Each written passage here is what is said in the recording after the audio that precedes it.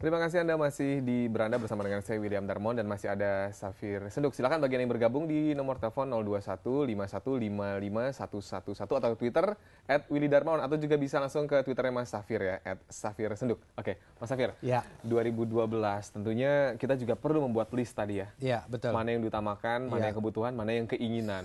Ini Ya. memang harus benar-benar ditulis sehingga kita nggak lupa akan resolusi kita atau Iya. bagaimana saran Iya. Mas Safir? Kalau sebenarnya nggak harus ditulis ya. Kalau misalnya kita punya ikat, ingatan yang kuat ya, tetapi dengan ditulis biasanya itu akan masuk ke alam bahasa dari kita dan kita akan ingat terus. Oh iya ya kemarin saya nulis ini ya. Jadi banyak orang bilang dengan menulis kita jadi ingat. Jadi kadang-kadang ya sudah kita tidak usah melihat tulisan lain ya karena kita ingat karena kita sudah pernah menulisnya. Jadi yang paling penting adalah coba lihat tahun 2012 ini apa sih wajib-wajib yang ingin kita yang harus kita penuhi ya wajib-wajib yang harus kita penuhi. Tentunya ada juga wajib yang namanya pengeluaran bulanan, tapi ada juga wajib yang memang sifatnya pengeluaran itu sifatnya tahunan. Mungkin anak masuk sekolah tahun ini ya, ada anak masuk sekolah tahun ini uh, bayarin orang tua misalnya atau bayarin mertua, inilah itulah dan lain sebagainya itu wajib. Kemudian butuh kebutuhan apa yang yang akan dipenuhi tahun ini dan yang paling penting keinginan keinginan. Dan jangan lupa William biasanya ini dia wajib dan butuh itu kita agak lebih kita sensitif sama harga. Tapi ingin kita biasa nggak terlalu sensitif sama harga. Ini contoh misalnya ya harga harga beras naik atau harga tol naik ya Nah, itu kan kebutuhan. itu kebutuhan sebetulnya kebutuhan. Nah kalau harga naik kita biasanya, oh kok naik sih harganya dan lain sebagainya. Tapi kalau kita udah kepingin baju, kepingin gadget dan harganya naik, Apa aja dibayar. sepanjang ada Berapapun uang biasanya dibayar. itu psikologis dan itu nggak ada salah benar sih. Itu bukan masalah salah benar, itu manusia itu psikologis itu wajar sekali. Gitu, Jadi ya tadi ya kebutuhan harus tetap diutamakan. betul. Harus diutamakan. Wajib dan butuh diutamakan, baru setelah itu inginnya. Tapi manusia kan gampang tergoda mas. Saya juga gitu. Sama. janji deh jalan-jalan ke mall nggak belanja, tapi udah diskon pasti langsung belanja. Oh, luar biasa, betul. Godaannya besar ya. Betul, betul, Silakan betul. bagian yang ingin bergabung kami undang sekali lagi di 02151551111. Oke Mas Safir. Iya. Eh, sebenarnya dalam pembayaran hutang Iya. itu kan tadi dibilang 30%. Iya. Artinya itu juga harus dibudgetin ya Mas ya. Iya betul, ya. Jadi prinsipnya adalah pembayaran utang maksimal 30% itu ya, cicilan rumah, motor atau itu mobil. itu digabung semuanya. Kita punya cicilan utang rumah, cicilan mobil, ya, cicilan motor dan lain sebagainya. Ya mungkin tidak harus pas sekali 30% ya, tetapi mungkin 35 40 mungkin masih oke lah nggak apa-apa. Saya kasih contoh misalnya kalau seseorang punya penghasilan katakan 3 juta rupiah, maka maksimal 30% adalah 900 ribu atau 1 juta rupiah itu sudah untuk membayar semua cicilan utangnya. Kalau investasi di tahun 2012 ini apa Mas yang mungkin berpeluang dan juga tidak terlalu beresiko buat masyarakat? Iya, saya pikir yang namanya investasi kita harus membiasakan diri bahwa kalau dulu orang biasa berinvestasi ke produk-produk perbankan ya. Sekarang saya lihat produk-produk surat berharga udah makin banyak ya, kayak reksadana dan lain sebagainya dan saya pikir itu kita bisa mulai mencoba. Sudah ada penelpon yang Oke. masuk. Halo, selamat sore. Ya, halo. Halo, selamat sore. Ya, dengan siapa di mana Ibu? Dengan Yani di Bekasi. Ibu Yani silakan. Ah, ah, saya mau nanya, ini eh, tentang itu apa eh, simpanan ya, yang mesti disimpan dan tabungan jenis tabungan sekarang ini. Itu ada rumor-rumor tuh dari teman-teman ngomong katanya yang bagus itu nyimpan emas. Apa benar? Terus gimana caranya? Terus belinya di mana gitu? Pengen tahu masalah itu bisa gitu? Ya, Oke. silakan. Terima kasih Ibu Oke, Yani ya, atas teleponnya. Iya. Investasi berupa emas. Emas, William, eh, ini emas ini kemarin tahun 2011 ini luar biasa ngetrennya ya. Kenapa? Karena kita di Indonesia itu merasa bahwa oh di Yunani ada krisis dan lain sebagainya ini pasti pengaruh ke harga emas. Akhirnya apa? Orang beli emas, beli emas, borong-borong-borong dan akhirnya kemarin tahun 2011 terjadi kenaikan harga emas. Tapi hari ini kemarin-kemarin itu sempat mengalami penurunan. Pertanyaannya bagus.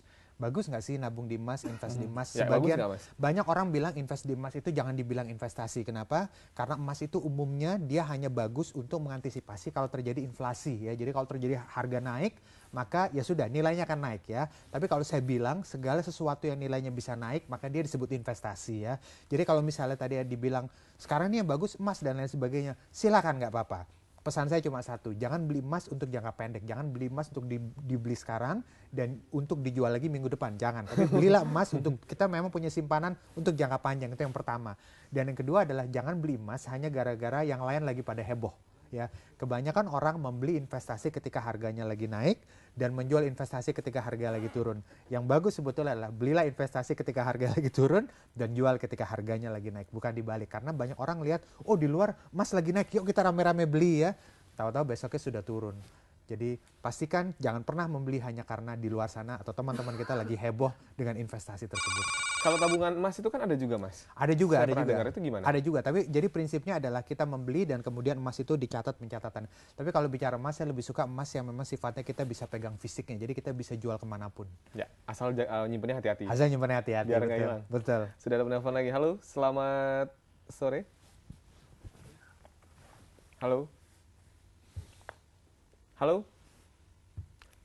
Ya, tampaknya ada gangguan komunikasi. Ya. Oke, Mas Safir, berarti salah satu investasi yang baik itu adalah emas. Oke, Itu ya. bukan yang terbaik tapi masih ada yang lebih baik lagi. sebenarnya gini, kalau sebenarnya kalau kalau saya bilang baik atau terbaik itu tergantung Tergantung. tergantung uh, orangnya karakter orang kan beda-beda ya Hmm. seperti itu ya. Memang harus disesuaikan dengan karakternya. Ada orang yang dia kalau beli emas nggak betah kenapa? Karena emas itu diem nggak ke mana-mana. Jadi dia nggak tahan dia ambil lagi dia jual lagi ke toko. Jadi ada orang yang cocoknya bukan emas, ada orang yang memang cocoknya emas. Mhm. Oke, sudah ada penelpon lagi. Halo. Halo. Halo, Ya, dengan siapa di mana Bapak? Silakan. dengan Pak Rahmat di Jakarta. Pak Rahmat, silakan Pak Rahmat. Eh, ini Pak, eh, saya salah satu guru honor di Jakarta. Ya. Pak. Nah, udah banyak sekali eh, pengalaman saya. Eh, rencananya pemerintah kan akan mengangkat honorer. Nah, mengapa masalah pengangkatan untuk di Jakarta guru honorer masih eh, masih didominasi dengan keuangan yang ada di Jakarta, sedangkan pemerintah saja untuk me- apa? Untuk menjemput Najarudin aja mampu Oke. Mhm. mampu menjemput Najarudin sampai 3 miliaran begitu. Ya. Mengapa hal seperti yang mengapa untuk pengangkatan tenaga guna honorer pemerintah tuh masih uh, uh, masih tersendat-sendat gitu. Terima kasih. Ya, baik terima kasih. Sebenarnya ini uh, belum ada hubungannya, tapi Belum bagaimana hubungan. nih komentarnya Mas Safir? Oke ya, sa- saya memang bukan bukan berada di bidang itu ya, Hmm. tapi prinsipnya gini, prinsipnya adalah kalau saya lihat memang yang namanya pemerintah, kalau memang alasannya keuangan harusnya biasa sih yang namanya pemerintah atau departemen terkait itu kadang-kadang mungkin problemnya mungkin kadang-kadang bukan di uangnya, tapi kadang-kadang di birokrasinya yang lama ya. Kalau masalah adalah penjemputan siapa itu tadi, itu mungkin posnya berbeda ya. Saya tidak membela siapa-siapa di sini, tetapi itu penyebabnya macam-macam bisa birokrasi dan lain sebagainya. Tapi jelas nomor satu saya bukan orang dari pemerintah, saya bukan. Jadi saya nggak tahu. Kita harus undang narasumber yang berkompeten mungkin ya. Betul, nanti kita itu. ngobrol-ngobrol lagi. Betul, Pemirsa, Anda jangan ke mana-mana karena setelah ini Beranda akan kembali dengan tema perencanaan keuangan di tahun 2012. Tetap bersama kami.